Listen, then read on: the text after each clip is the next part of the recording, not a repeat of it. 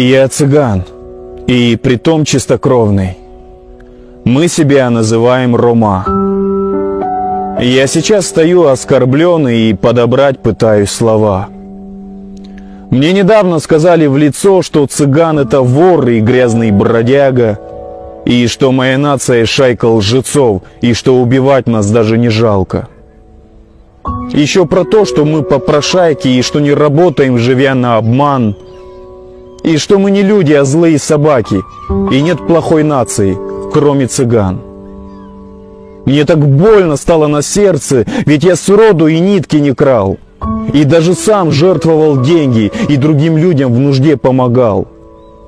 Я пытался объяснить человеку, что не все цыгане такие, что неправильно ставит он мерку, что есть и хорошие, а есть и плохие. И что работаю я, как и все, и что не брезгаю тяжелой работой, и что жена моя ни разу нигде не просила копеек с голодным ребенком. Он мне не поверил, я зря распинался, ведь я же цыгана, значит я вру. И горький осадок на сердце остался.